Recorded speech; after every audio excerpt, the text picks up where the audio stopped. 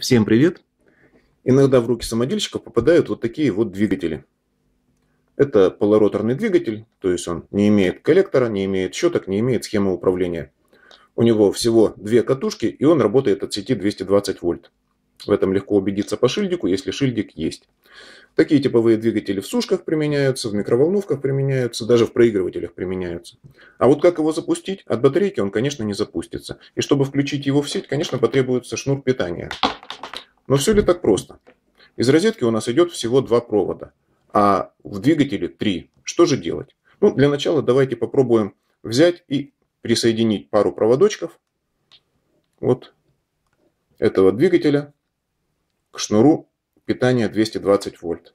Я соединил. Внимание, не повторяйте такие эксперименты дома, особенно те, кто не очень опытен. И когда даже вы очень опытны, то проводя подобные эксперименты, не забывайте об изоляции. Чтобы увидеть, куда вращается вал двигателя, я прикреплю маленький флажок желтой изоленты. Иначе нам не будет заметно, вращается он или нет. Итак, опыт первый. Мы подключили два провода и пытаемся включить этот двигатель в розетку. Слышим небольшой гул, но ничего не происходит. Так, может мы перепутали провод? Ладно. Давайте возьмем, оставим черный на месте, присоединим к питанию розовый. Не забывайте все изолировать хорошенько и контакты держать подальше от оголенных рук. Пробуем. И тоже ничего не происходит. Как же заставить этот двигатель работать?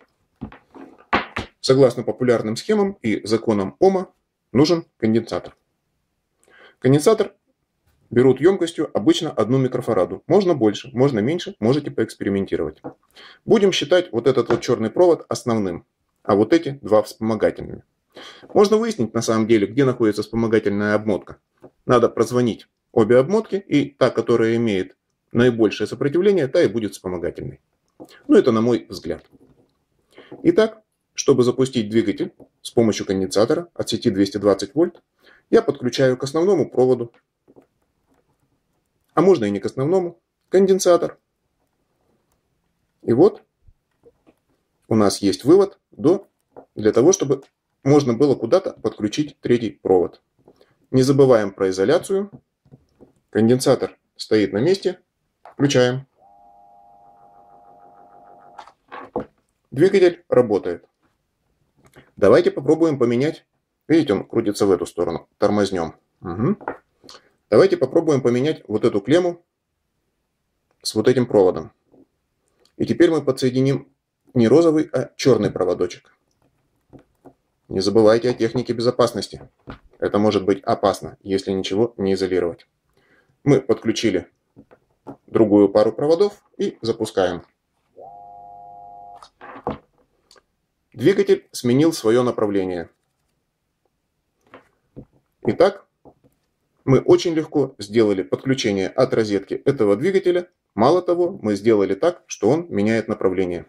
Если сюда подключить тумблер, который будет переключать то одну, то другую пару вот этих проводов, то, подавая на конденсатор напряжение либо отсюда, либо отсюда, мы будем менять вращение нашего двигателя.